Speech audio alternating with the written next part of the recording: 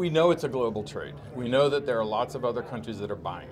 Uh, Japan, Germany, Western Europe. There are other countries involved in the trade. So it would take a, a, a really cooperative effort to do that. Um, but I think a, a, great step would be for countries to implement the Security Council Resolution 2199, which calls on member countries of the UN to stop this trade, stop, outlaw the trade from uh, Iraq and Syria. And if, if, if it was a, a concerted effort, it could have a real impact. The, the market is very diffuse, it's very scattered, there are lots of parts to it.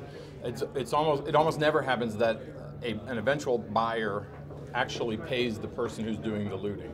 Um, but it starts that way. You know, let's say ISIL, which is not particularly looting sites, but we know they're actually giving licenses, so they're taking a cut of the of the profits. Uh, they charge money for people who are looting. So the, you know the material goes. It may go through several hands, smugglers, several dealers, and end up in in a, a collector's hand. So that collector's money may not be going directly to the um, to the ISIL group, but in the long term, it, it, essentially is the same thing. Because if you turned off that demand by the collectors who are buying, down the line they would stop purchasing from ISIL.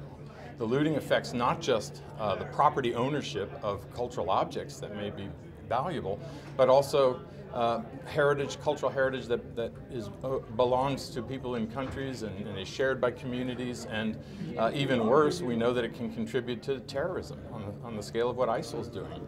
So, do we really want that on our hands if we're thinking of buying these antiquities? That's why they're calling them blood antiquities, like blood diamonds, that this is a trade that has blood on it and dirt on it. So, it's a, it is very much a moral issue.